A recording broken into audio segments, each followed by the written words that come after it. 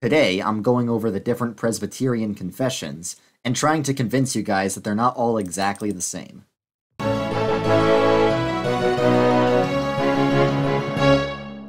Hey guys, welcome back to Kingdom Craft, where I build this big church in Minecraft while I talk about Christianity. Today I'm going to be talking about the different Presbyterian confessions, and I actually have most of these confessions written in Minecraft books. It took a long time to transcribe these, I don't have all of them because some of them were a bit too long and I was too lazy to do it, but I'm going to be putting these in my library while I go over each one. So, I am part of the Presbyterian Church USA, which uses a bunch of different confessions throughout many time periods in history. Whereas other Presbyterian denominations like the PCA, the OPC, the EPC, um, they just use basically Westminster. That's their only official confessional document. But um, I think it's best to use a lot of different confessional documents from all over history. So we don't just use Westminster, even though Westminster is like our most important confession. We have the Apostles and Nicene Creeds. We have the Scots Confession, which I kind of like a little bit better than Westminster. We have also the Heidelberg Catechism and the Second Helvetic Confession, which are not actually Presbyterian confessions, but come from the same broader Calvinist tradition as we do. And we have some more modern confessions, like the Confession of 1967, the Theological Declaration of Barmen, and the Brief Statement of Faith, which was written when the PCUSA formed in 1983. So I'm going to say what each of these confessions contributes to our faith. So I think the value of using a lot of confessions is it says that we are a tradition that has moved throughout history and we have we have basically evolved throughout history because um, society is always in motion and so is the church whereas if you just stick to one confession it's almost like you're trying to be frozen in time so the churches that only use the westminster confession and nothing else it kind of feels like hey, the these 1600s Puritans got it exactly right, and we just want to be exactly like them.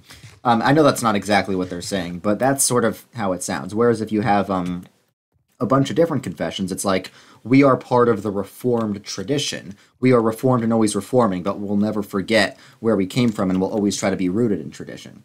Um, and I know the PCUSA is not always good at being rooted in tradition. Um, but and I know the PCUSA has all the problems, but I'm I'm trying to I'm trying to fix those. I'm trying to promote orthodoxy within the PCUSA. And the best way to promote orthodoxy is to stick to the confessions of your denomination. So um, I put those books in the library, and uh, I might actually take one of them. I'll, I'll take some of them just with me because I want to show you guys some other Presbyterian churches that other people on the server have built. The first confession I'm going to go over is the Apostles and Nicene Creeds. Those are really two of them, but you know, they're short, so I put them in the same book. So, the Nicene Creed functions basically as a gatekeeper of true versus false Christianity. Now, in a lot of Protestant circles, people accuse each other of heresy for this and that, like, oh, if you disagree with me on this political issue, you're a heretic. But historically, the formal definition of true versus false Christianity has been the Nicene Creed. The Nicene Creed isn't a perfect determiner of orthodoxy versus heresy, which is why subsequent councils had to clarify what the Nicene Creed meant on certain things. Like the Nicene Creed says the Father is God and Jesus is God. It doesn't explicitly say the Holy Spirit is God. It says the Holy Spirit is the Lord, but then they had to have another council to clarify what it meant. So it's not perfect, but it's the best objective standard we have for determining what orthodoxy is. And let me just show you guys what it is. So, this is the Apostles' Creed. Many of you might be familiar with it if you read it in your churches. It says, I believe in the God the Father Almighty, maker of heaven and earth. I'm not going to read all these because it's a lot of them are long. Nicene Creed is very similar to the Apostles' Creed, it's just more detailed. So, I would say the function of the Apostles' Creed is primarily to be a brief summary of the entire Christian faith. That can apply to all Christians, not just Presbyterians. So the Apostles and Nicene Creeds, they are not unique to Presbyterians. They are the things that all Christians have in common. I forget if the East uses the Apostles' Creed. They, they do use the Nicene Creed, though. So whether you're Catholic, Protestant, Orthodox, and if you're Protestant, whether you're Lutheran, Methodist, Baptist, um, I don't know, Anglican, all Protestants, all historic Protestants, that is, use the use the Nicene Creed. So the Nicene Creed is um, the ecumenical creed, and, and both the Apostles and Nicene creeds are called the ecumenical creeds, but the Nicene Creed is more detailed. It defines Jesus, it defines God, and it's um, It's very helpful for determining what that is. Okay, there's another church on the side of this wall. This wall separates like my property from other people's property. Of course, I have the most because I own this place. But there are some really cool Presbyterian churches people have built here. For example, um, I know there's some of these look like they're works in progress. I'm excited to see what. Okay, there, there's a lighthouse church over here that someone built. So I'm gonna take a quick look at that. So, the first uniquely Presbyterian confession I'm going to go over is the Scots Confession. This was written by the founder of Presbyterianism, John Knox. And I know hearing this, my Catholic and Orthodox followers are going to be like, Your church was started by a man, our church was started by Jesus. I, Jesus is a man. Um, well, he is the founder of Presbyterianism as a distinct tradition, but he was still um, part of the Catholic tradition before that. The Reformers saw themselves as continuing the broader Catholic tradition, just reforming it with the Bible. But John Knox is the figure that defines Presbyterianism as a distinct tradition, and he wrote the Scots Confession. What I love about the Scots Confession is how fiery and passionate it is, and um, I think it's important to use the Scots Confession. There's a ton I like about it um, because one of the reasons I think it's better than Westminster is it's actually from the Reformation. It's actually written by a reformer. The Westminster Confession is good, but it's a Puritan document. It's not a Reformation document. And the Puritans had slightly different prior. Okay, this is a nice place. The Puritans had slightly different priorities than the Reformers because the Puritans were after the whole Arminian controversy, which is why the Westminster Confession is very centered on specifically having a reformed doctrine of predestination. It's very specific on that. Whereas the Scots Confession doesn't focus that much on predestination. Because, contrary to popular belief, Calvinism was not really about predestination until after the Arminian controversy. The what Calvinism originally meant was the word Calvinist was used by Lutherans to define the reformed Calvinist view of the sacraments, but a lot of modern Calvinists do not know what the reformed view of the sacraments is. The Westminster Confession does indeed um, sort of define the reformed view of the sacraments, but it's I don't like how it's worded. It's worded such that a more symbolic interpretation can be taken. Because according to classic Reformed Presbyterian theology, the sacraments are not just symbols, the sacraments are means of salvation. And Westminster does say that, but it's a bit more vague. So that's why I like the Scots Confession. The Scots Confession has the highest sacramentology, the highest view and explanation of the sacraments that all the confessions have. Um, let me show you. So uh, let me just scroll through this. Yes, of the sacraments, it says, um, it says, uh, Okay, where is it? Yes. It says, We utterly damn the vanity of those that affirm the sacraments to be nothing else but naked and bare signs. We believe that by baptism we are engrafted in Christ Jesus to be made partakers of his justice, by the which our sins are covered and remitted. So, there, it's saying that baptism saves. A lot of people think that goes against Reformed theology, but the original Reformers, John Calvin, John Knox, they believed baptism saves. Um, however, when I go over Westminster, I'm going to clarify what the reformers mean by baptism saves. It's different than what the Catholics mean. It also says, in the Lord's Supper, Christ Jesus is so joined to us, he becomes the very nourishment of our souls. Now, it re- rejects transubstantiation here. We're not Roman Catholic. Um, but um, it says the communion we have with the body and blood of Christ is by the operation of the Holy Ghost. And we really feed on the body and blood of Jesus Christ and it talks about our union with Christ. There are a lot these ideas about um, the spiritual but real eating of Jesus's flesh and blood in the Lord's Supper is something John Calvin and John Knox strongly believed, but it's something that's lost on a lot of modern Reformed people. You go to your average PCA church, and they, will do the Lord's Supper, and they'll say it's a, it's an important covenant sign and seal but they probably won't say we actually receive the body and blood of Christ. Um, and same like uh, in baptism at a PCA church, it's very common to hear the pastor say baptism doesn't save, but that's not classic Reformed theology. I just showed you from the the founder of Presbyterianism, John Knox, that baptism he believed baptism doesn't save. If you if you don't believe baptism saves, I mean uh, the Bible says baptism saves, First Peter three twenty one. But if your interpretation of that is more symbolic, fine. But you you need to understand that classic Reformed theology does indeed teach that baptism saves. So I honestly think my theory is that the one of the reasons the PCA has a lower sacramentology than John Calvin and John Knox did is because they don't use the Scots Confession. They only use Westminster. And there's a ton I love about the Scots Confession. Um, but it's not perfect because it's written just by one guy. Um, John Knox. Whereas the Westminster Confession, I think he might have had help from a few other people, but the Westminster Confession is a lot more academic and formal. It's written out in like bullet points with scripture references, whereas the Scots Confession just has like paragraphs of John Knox going on like passionate, like almost like rants. If you know the life of John Knox, he was very fiery guy. He was like the Martin Luther of Calvinism almost. Um, so yeah, the Scots Confession is not perfect, and we have to acknowledge that. Okay, now I'm going to go back up to my library and uh, take some of the other books. So uh, our Book of Confessions, which is the book that contains all the con- okay, keep forgetting the library's on the third floor.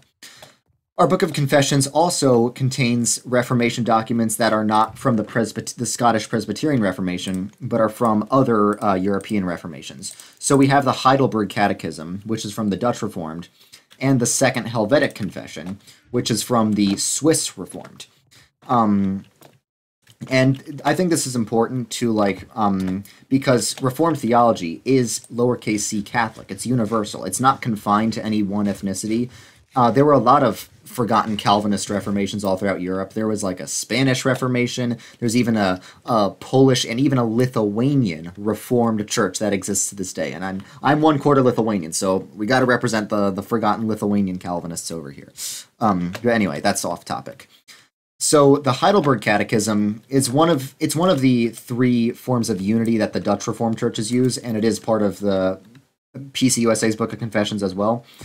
Now, theologically, I think the um, Heidelberg Catechism is honestly a bit underwhelming. Regarding the sacraments, it is very vague and it almost sounds like it has an, a symbolic view of the sacraments. I know that it's that's not what it is, but it almost sounds that way. However, I don't think the purpose of the Heidelberg Catechism is to be um, a source of like a source of doctrine. I think it's uh, meant to for liturgical use because the way it's structured is it has a question and answers, questions and answers for each Lord's Day, each Sabbath Sunday for the whole year. So there's 52 questions and answers um, it's meant to be read in a liturgical service. And I think it functions great at that. It's very pastoral sounding. And a lot of the other confessions don't sound a bit cold, but the Heidelberg Catechism is very warm and pastoral. The first question is What is your only comfort in life and death? It says the answer is that I'm not my own, that I am bought at a price. Okay, here's St. Paul's Presbyterian Church, um, founded uh, three days ago. but it's it's already looking really good. And I know it's it seems like a bit of a work in progress because the windows are empty, but it already looks really awesome. Okay, they have a nice communion table in the front. I love this design. Okay, all these churches, even though they're smaller than mine, and the only reason they're smaller is because I didn't give them enough land to build bigger. Um, they're smaller than my church, right? But they use a lot more like complex stone materials than I did. I just used bare cobblestone and my church used to be like really beautiful, but now like compared to all these other ones it looks kind of bad. Okay, I'm just breaking through these walls. I know there is there is actually a path that leads out of here, but I'm too lazy to remember where the path is even though I'm literally the one who built it. Um I made the path, but other people made all these churches. I made this church that's behind me. Um okay. So that's the Heidelberg Catechism. Then there's the Second Helvetic Confession, written by Heinrich Bullinger. Um, uh, he took over after like Zwingli in the Swiss Reformation, and Zwingli is notorious for having a low symbolic view of the sacraments. But John Calvin convinced Heinrich Bullinger, who came after him, to adopt a much higher view. Now, Bullinger's view isn't quite as high as Calvin. For example, um, Calvin thought that the bread and wine are the instruments by which we receive the body and blood of Christ, whereas Heinrich Bullinger said, um, we receive the body and blood of Christ at the same time as we eat the bread and drink the wine, but they're not like instruments. It's just what is called sacramental parallelism. But it's still much closer to Calvin than Zwingli. And you can sort of see Heinrich Bullinger's views expressed in the Second Helvetic Confession, which he wrote. Um, but I really like the Second Helvetic Confession. It says a lot of things that um, that like you it says a lot of things that the other confessions don't say. It's like if you want some alternative explanations to things. Like it has the highest view of Mary of all the Reformed confessions. Um, you could argue that Heinrich Bullinger believed in the bodily assumption of Mary. I'm not saying I believe that, um, but uh, just, to read it, the, the Second Helvetic Confession is really interesting. It goes into very interesting detail about a lot of subjects you wouldn't think would be going to detail about. Also, I like how the Second Helvetic Confession says that um, we Reformed Christianity is Catholic, lowercase c Catholic. We are not trying to start a new church. We are continuing the Western Catholic traditions, um, just reforming them by the Bible. And Heinrich Bullinger was very careful to say that. And that's why I'm a big fan of Heinrich Bullinger. Okay, the next one is the Westminster Confession. Really, it's the Westminster Standards because there's the Westminster Confession and the larger and shorter catechisms. So the the last three things I went over are Reformation documents. By the way, this Presbyterian church that was built um, is Covenant Presbyterian Church. It is absolutely beautiful. Just just just look at it. I'm I'm gonna walk around it a bit before I go inside. Okay, so the Westminster Standards were written by um, we're actually not from Scotland, which is where Presbyterianism is from. It's from England during the English Civil War, when England briefly became Presbyterian. I don't really know the history, uh, just just a crash course version of it.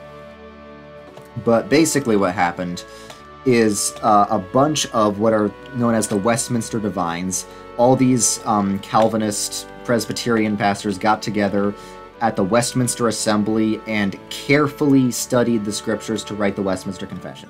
So the Westminster Confession is superior in in that it is the most well researched. It has a lot of scripture proofs for like every sentence. So that that's why it's a lot more formal and organized than like the Scots Confession, for example. But I, there are other things the Scots Confession is good at, the, the Westminster Confession isn't so good at, so I think they balance each other out. Oh, nice, there's a lectern. Maybe I'll put the the Westminster Confession on the lectern. So this is not the Westminster Confession, actually. I didn't have time to write that in the Minecraft book. This is the Westminster Shorter Catechism. What is the chief end of man? Man's chief end is to glorify God and enjoy Him forever. Amen. This is based. So, the Westminster Confession, I think its purpose is to be a very careful, in depth explanation of the Reformed doctrine of stuff. Um, and it also is very good about going into the Reformed doctrine of God and um, what the catechisms do as well is define terms like what is justification, what is sanctification, what is adoption. All these theology terms, they do a good job defining them. So yeah, you go through all these questions, and although that I said, like I said, the Westminster Confession um, has a bit lower view. I don't want to say lower, a bit a bit less of an explicitly um, sacramental view than the Scots Confession. What I what I do like about it is that it is also clarifies how the Reformed doctrine of the sacraments is different than the Catholic doctrine of the sacraments, and I'll I'll explain this. Um, so let me see. Uh, there's I'm gonna show where it talks about the sacraments. Um, okay, so um, this says, How do the sacraments become effectual means of salvation? So, this is still a pretty high view of the sacraments. It is still saying the sacraments are means of salvation, they're not symbols. But then it says, The sacraments become effectual means of salvation, not from any virtue in them or in him that administers them, but only by the blessing of Christ and the working of the Holy Spirit. That's the important thing. Um, the Catholics believe the sacraments work ex opere operato, meaning the sacraments have the power in and of themselves to bestow grace. Whereas Reformed theology says the sacraments um, are means of salvation for the elect, for those that have faith in Christ. So the sacraments cannot do anything apart from faith. And the Westminster Confession also says that there are two parts of a sacrament the sign and the thing signified. So we, unlike the Catholics and the Lutherans, we try to distinguish the sign and the thing signified. So we say baptism saves. But when we say that, we are defining baptism as both the outward baptism with water and the inward baptism of the Holy Spirit but we're not separating it into water baptism and spirit baptism like the Baptists do. Um, we let we don't separate the two, but we don't mix the two either. From our perspective, the Baptists tend to separate um, the two parts of baptism, and the Catholics tend to mix them into one. So we say baptism saves, but only for those who have faith. Uh, if you don't have faith, baptism can't save you. Um, and um, okay, people are talking about mainline Protestantism in the chat. People are having a conversation about mainline Protestantism without me. How can they do that? Um, and in the Lord's Supper, we do receive the body and blood of Christ, but we don't believe in transubstantiation. We believe that we receive it spiritually. Anyway, so then there was like 300 years where they didn't write any confessions, as far as I know, at least not ones that are in our book of confessions. But then um, there's the Theological Declaration of Barmen, and this was written by Karl Barth, Karl Barth, sorry, and Dietrich Bonhoeffer. Um, and they're people that represent a movement known as Neo-Orthodoxy. I know this this movement is kind of controversial, but basically, in the 1800s, theological liberalism took over the Protestant churches, which is basically where people stopped believing in the, the authority of the Bible and stopped believing in the Christian essentials. Neo Orthodoxy, which Karl Barth is the biggest representative of, is basically um, a rejection of liberalism, and um, this really came to a head in the in the in Nazi Germany, 1930s Germany. Um, so we have a confession written by Dietrich Bonhoeffer from 1935 that rejects Nazism back before any of the major like Allied powers rejected it. I think that's pretty cool um, because we have confessions that had a lot of historical significance. Because in it, it might sound hard to believe, but it was actually the theologically liberal churches that sided with the Third Reich, that sided with the Nazis in Nazi Germany. Um, here's what I mean by that. Theologically liberal doesn't necessarily mean like gay flags and stuff. That's what it means today. But it really just means you don't take the claims of Christianity seriously. So when the church no longer has anything of its own to say, the church just goes along with whatever the culture says. So what has always happened in theologically liberal churches, ones that don't believe the authority of the scriptures, is um, they just go along with whatever their culture is saying. And now the culture is saying you need to be all woke and stuff. So that's why theologically liberal churches these days are all woke and flying pride flags and stuff. But um, back in the day, back in uh, 1930s Germany, the thing the culture was saying is you need to support whatever the Nazi party supports. And that's why there were the quote unquote German churches that sided with um, the side with the Nazi party. Now, of course, um, Hitler was not a Christian at all. He explicitly rejected Christianity. He rejected the Catholicism that he was born into. But um, he he needed everyone to go along with him. So a lot of the churches were pressured to comply with the Nazis. And this statement the theological declaration of Barmen, was a rejection of was saying we will not submit to the idols of this culture. That's a very important confession for the church to have, especially in this day and age when the culture is pressuring the church to com- uh, submit to the idols of our culture. I'm not saying we are in as bad a, as bad a place as Karl Barth and Dietrich Bonhoeffer. Dietrich Bonhoeffer tried to kill Hitler and he failed, so he was killed himself, but he still went down as a martyr. Um, he was still very important so yeah, this uh, this document is still a very important document. I think it's very important to have in our book of confessions.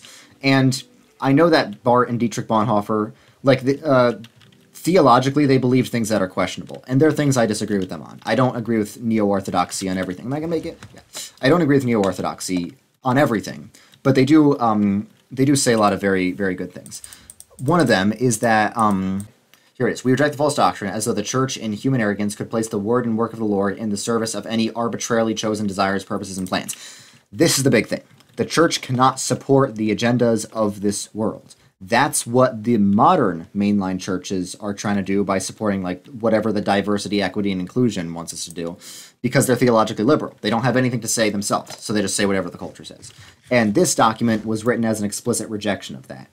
Um, so that's why this this that's that's why this one's important. Okay, so the next one is the Confession of 1967. Um, and this one is pretty important. It's also has a. This wasn't written by Karl Barth, but it is basically adopting a lot of the theology of Karl Barth into the Presbyterian Church USA. And the reason this is important is it's uh, it's written in the modern era. It responds to the issues of modernity and some conservative reform people have criticized this. They, they say it sounds liberal. I don't think this is liberal because this is the one confession that we have that rejects the sexual anarchy of the modern world. If you were to ask someone, like, which Presbyterian denomination has a confession that explicitly rejects modern sexual anarchy and like sexual immorality in the modern world with like birth control and stuff like that? Um, you would think it's the PCA, because the PCA is generally the more conservative denomination. But no, they only use Westminster. The answer is the PCUSA. They have the Confession of 1967. And the Confession of 1967 also condemns racism. Um, it's, I think, it's not, not the only one. It's the first confession that does so. That's an important thing. Um, it condemns the, ex- the exploitation of the environment. And this is why people think it sounds woke. Guys, being against racism and being against exploiting the environment are not woke things, all right? Those are things that all Christians should care about. And those are things that Christians historically have worked for. It's just because of our modern political polarization that people say those are woke things. They're not woke things. Um, God is restoring all things. That means uh, reconciling all races to himself and reconciling the world, which includes the physical creation, to himself. And that's something that mainline Protestants are much better at talking about than evangelical Protestants. Evangelical Protestants, and this sort of includes conservative Presbyterian denominations like the PCA, um, often make it sound like the goal of Christianity is the salvation of your soul and you personally going to heaven. Um, what's what the goal of Christianity actually is is heaven coming down to earth, and um, when Jesus comes back, the entire world will be reconciled back to God. So it's not just about the salvation of you individually. There is an individual uh, dimension of that, but it's about the salvation of the world collectively as well. Now, that doesn't necessarily mean all will be saved. It's just that there is an individual dimension of salvation and a cosmic dimension of salvation. And that's what the modern confessions address that the um, older confessions don't address, not to their fault, because those weren't the questions of those times. During the um, Reformation, the questions were like, what how do we define the church and the sacraments? So that's why the Scots Confession does the best job providing biblical answers to that in the 1600s, in the um, post Arminian controversy era, the question was what is the biblical doctrine of predestination? And the Westminster Confession was written partially to address that.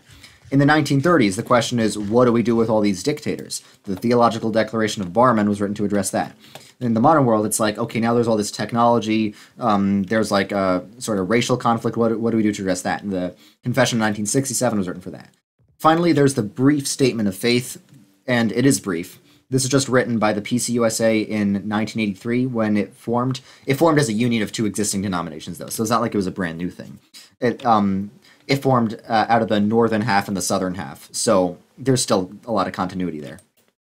But yeah, it says, uh, "Life and death we belong to God." I'm not going to read the whole thing, but it confesses all the Christian orthodoxy, like Jesus is truly fully human, fully God. Um, it confesses the Christian orthodoxy, but it also focuses more on the message of Christ. Like the the Nicene Creed um, doesn't focus much on what Christ preached. Um, here it does. It says Jesus proclaimed the reign of God, preaching good news to the poor and release to the captives. Now, the Nicene Creed was not convened for that purpose. I'm not saying the Nicene Creed was at fault. Back then, Christians were already doing a great job at doing service to the poor. Um, if you read certain early church father quotes, let me just say they don't sound like free market capitalists. I'll, I'll just say that much. I won't say anymore. But um, so it wasn't necessary. But in the modern world, it, it is necessary to address that. Uh, the Nicene Creed was convened to address is Jesus truly God? And they had to answer emphatically yes. Um, but um, sorry, the, the Council of Nicaea, which produced the, the Nicene Creed. So yeah, it talks about what Jesus actually did. It doesn't just skip from his um, uh, like birth to his death.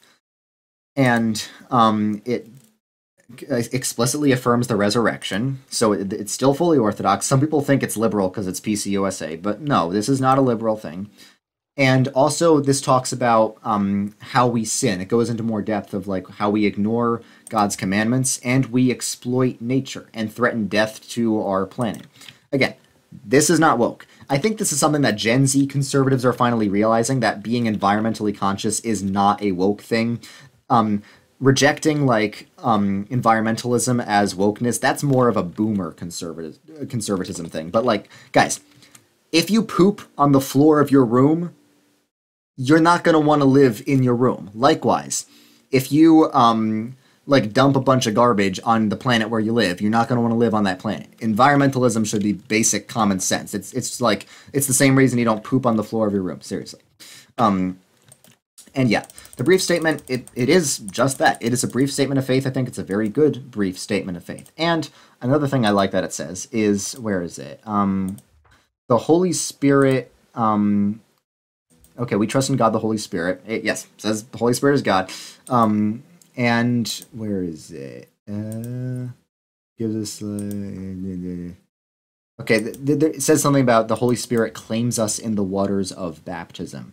Um, if I just skipped over, yeah, here, 62. The Holy Spirit claims us in the waters of baptism. That's a very good way to put the um, Reformed view of baptism. And it's another way of saying that um, we do not believe baptism is just a symbol. So I'd say the function of the brief statement of faith is to be a brief statement of faith.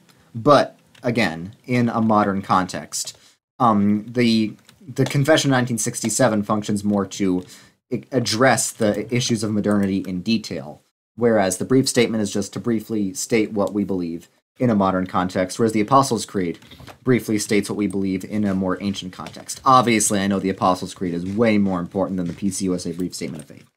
but it's it's good. It's we have a brief statement of just general Christianity and a brief statement of what my specific denomination believes. So, guys, those are about all the Presbyterian confessions. The last thing I'm going to do is I'm going to make a lectern for the, the front of my church.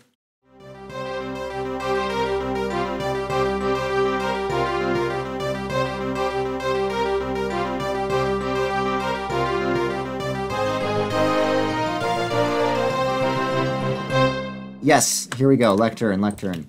Now I'm going to um, run to the front of my church and end this video as soon as I place it because I am so sorry for keeping you guys longer than I normally do. Okay, and there we go.